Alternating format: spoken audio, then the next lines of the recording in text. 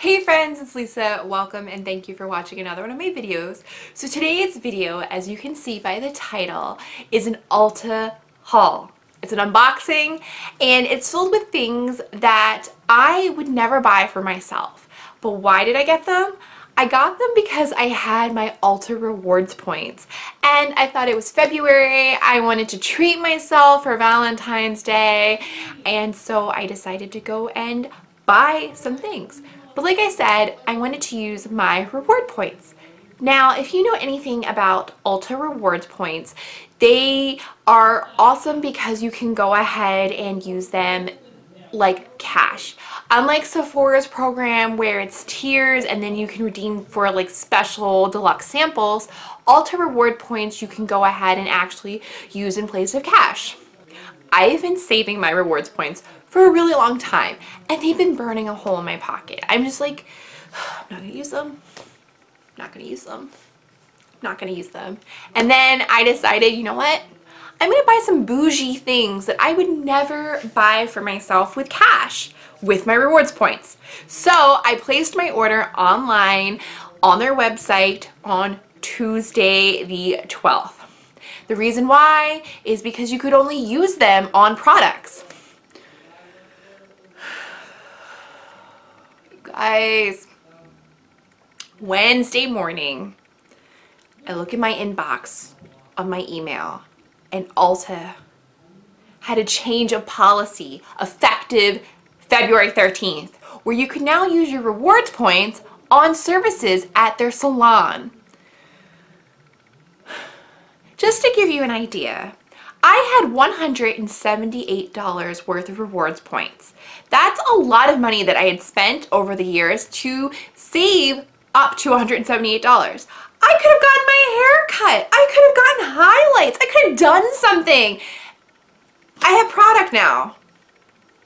So, I mean, yeah, I'll join the product, but honestly, I would have rather used my points and gotten a service. So I sent like a passive aggressive, like funny tweet to Ulta being like, ha ha ha, but they never responded. And honestly, at that point, my stuff had already shipped mag like magically, like, so I mean, what, I'm already 2 minutes and 45 seconds into this and I haven't even gotten to the unboxing. So, okay. so I'm like, let's do this. So, one thing I gotta say is I'm a little bit disappointed that I noticed recently Ulta stopped even offering samples. They don't even pretend like they're gonna send them anymore. They just straight up don't offer samples. Have you noticed that? Wow. On to the unboxing. Um, the first thing that I bought that I would never purchase for myself is this Stila Glitter and Glow liquid eyeshadow and this one is in Dollish. Now I played around with this at a store and I liked this a lot but I was like I'll never buy it for myself so then I was like, girl, you got some points. You're going to spend them and buy stuff that you don't ever expect to ever buy. Once again, cardboard. Um, oh my God. Seriously? All right, so here is Dollish. And it is a pink glitter, I believe with a um, gold shimmer Oh my god. A little ASMR for you. Okay. So if I'm going to swatch this on my hand, if you can see that. It's a very delicate pink with gold shimmer. No smell. If you watched my, um, ooh, if, that's gonna break. All right, so the, I don't mean this in like a dirty way, you guys. The hole for this is really tight and it's hard to put the applicator into the hole. It's a very tight fit. So I don't mean that in a dirty way. I mean that legitimately it's a tight fit.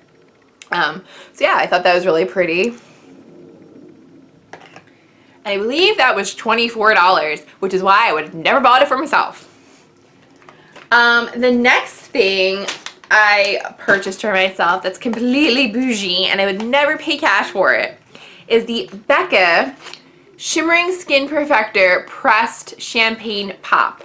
So this is a highlighter that I feel like every single time I watch videos, people are like, oh, champagne pop, oh, champagne pop.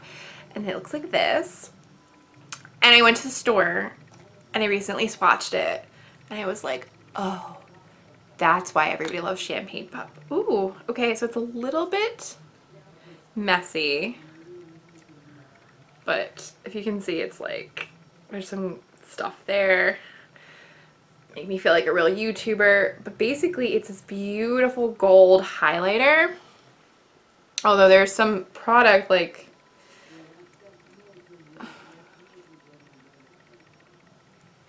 Okay. I don't want to like tip it over because I'm afraid. But it is this beautiful gold highlighter. And I feel like I'm really tall today. Um,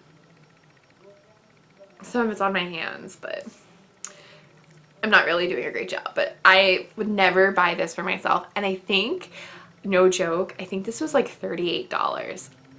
Why? Why? But I bought it because I could with my rewards points.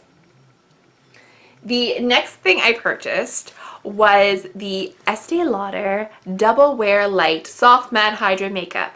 And this is a foundation and I purchased it in 2W1 Dawn. And I swatched 3W1 Tawny in the store and I liked it. This one, which is a shade lighter, um, it was an online only. Oh, and there's a safety seal, so I'm excited for that. But um, I don't need foundation. I don't because I have a lot.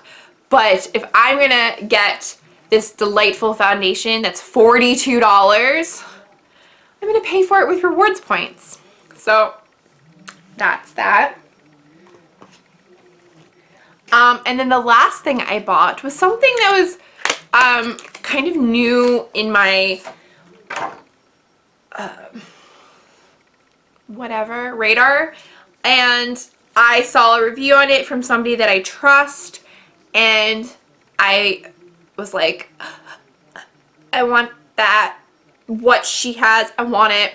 And so um, it was $58, but I paid reward points for it, so I didn't actually pay anything for it. And that is the Lime Crime Venus XL or extra large too. And it's this beautiful eyeshadow palette with Venus. Um, and I guess there's an original one that has different coloring, but this is like XL2. And this one, oh, I'm like, how the heck do I do this? It's so big.